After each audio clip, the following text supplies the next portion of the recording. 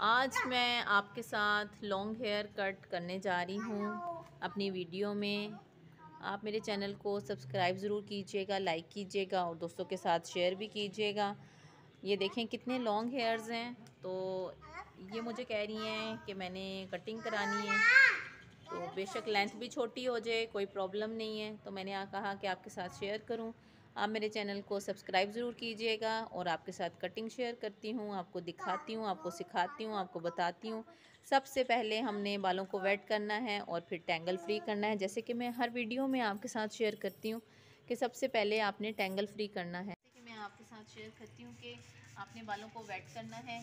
मैं मेरी कोशिश यही है कि आपको आसान तरीके से सारा कुछ सिखाया जाए। ये देखें लॉन्ग हेयर कट है इसकी लेंथ भी छोटी हो जाए तो कोई प्रॉब्लम नहीं है। मेरे क्लाइंट ने कहा है कि अगर लेंथ भी छोटी हो जाए तो कोई मसला नहीं है। इसलिए मैंने कहा कि आपके साथ वीडियो शेयर करती हूँ और कटिंग करके आप हाँ बस ये जितने रफ बाल हैं सिर्फ़ वो निकाल रही हूँ मैं।